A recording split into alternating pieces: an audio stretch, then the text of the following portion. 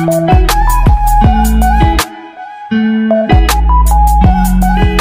right, we're here in Pontiac today, um, serving with about 120 Rochester University students. Faculty and staff are here in the community. Uh, lend a hand where it's needed, weed some gardens, pick up some trash, just be part of the community.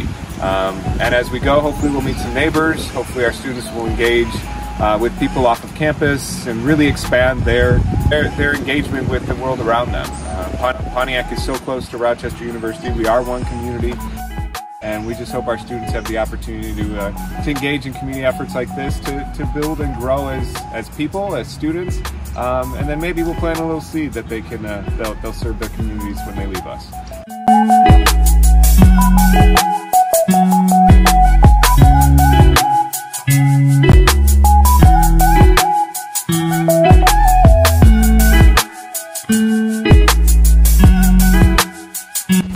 So Micah 6 Community started uh, 10 years ago, back in 2012, when uh, me and a group of friends moved into this neighborhood to live here as neighbors and serve the community as people who live here and here. And uh, we've just sort of moved through doing food work and doing kids work and doing uh, you know other programs, creating jobs. And now the next big thing that we're doing is renovating a vacant elementary school to turn into a community center, and that'll be open uh, in the spring of 2024.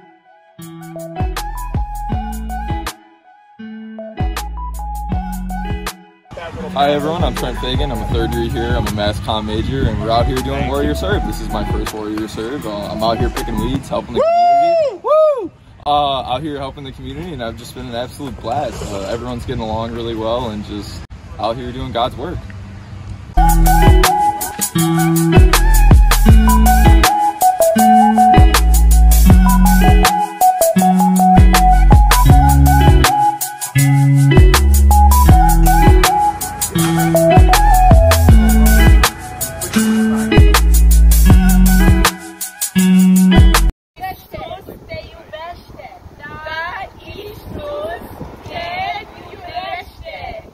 What does that mean?